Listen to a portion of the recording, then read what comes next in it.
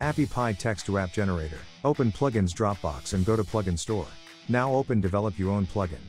Enter website domain, that is appypie.com, and click on find manifest file. Click on next. To install the plugin, click on install for me. Click to continue. Install the plugin now. Hooray, the plugin has been successfully installed. Now let's start building the app. In the chat area, give prompt create dating app and wait for the chat to finish it.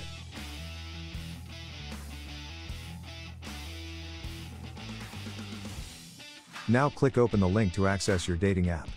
Sign up or log in with AppyPie to check your app. Tap to launch your dating app now sit back and relax while the AI finishes the app creation process. Hooray, your dating app is ready. Go ahead and test the app the way you want. Let's create another app. In the chat area, give prompt restaurant app and wait for the chat to finish it. Now click open the link to access your restaurant app. Tap to launch your restaurant app. Now wait, and let AI handle the rest.